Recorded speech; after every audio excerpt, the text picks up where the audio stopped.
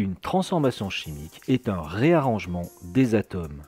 Certaines substances appelées réactifs disparaissent, d'autres appelées produits apparaissent, mais le nombre total d'atomes de chaque espèce ne change pas. On pourrait comparer cela à un jeu de Lego. Les réactifs seraient des constructions et la transformation chimique reviendrait à défaire ces constructions pour en construire de nouvelles. On voit bien que le nombre de briques de chaque couleur reste le même.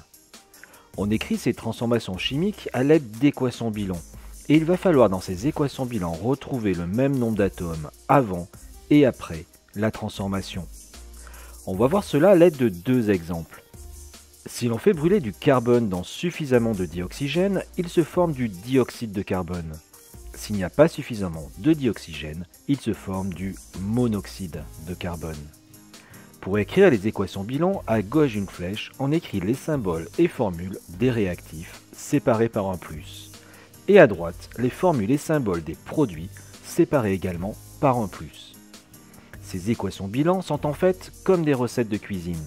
On a indiqué les ingrédients à gauche et le produit de notre recette à droite.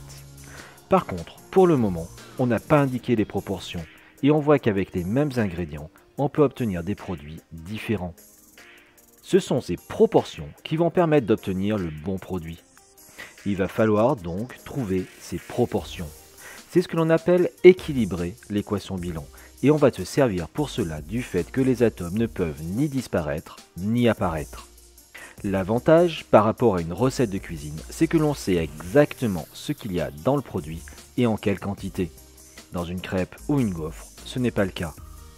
La méthode pour équilibrer consiste à compter chaque espèce d'atome avant et après et à faire en sorte qu'il y en ait le même nombre en en rajoutant là où il en manque. Si l'on s'intéresse à notre première équation bilan, on voit qu'avant la transformation, il y a un atome de carbone. C équivaut à C1.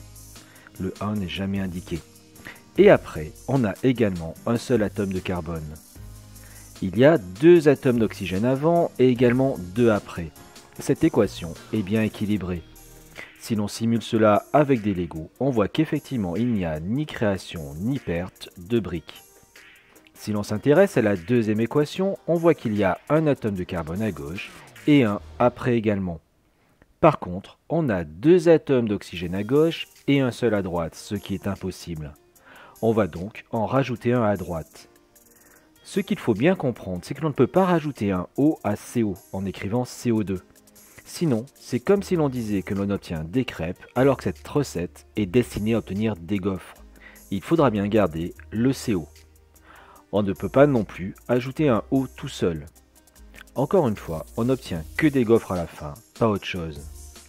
Par contre, on peut dire que l'on a obtenu deux gaufres au lieu d'une, en écrivant CO plus CO.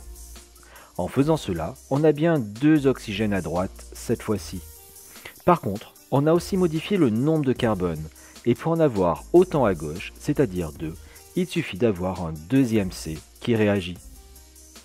Il faut bien comprendre que quand on fait réagir des substances, on a à disposition des milliards d'atomes et de molécules. C'est un peu comme pour une recette de cuisine là aussi. On sort nos boîtes d'œufs, notre farine, notre lait, et on va prendre dans ce stock ce dont on a besoin. Pour terminer notre travail, on factorise et on écrit donc 2C plus O2 donne 2CO.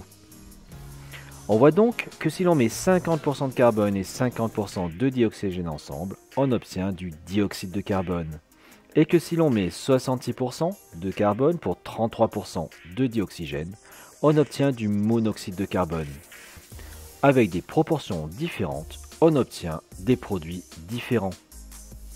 Tu peux compléter cette vidéo avec d'autres dans la playlist Chimie 4ème. Tu verras comment écrire la formule d'une molécule, comment équilibrer l'équation bilan de la combustion du méthane, du butane, etc.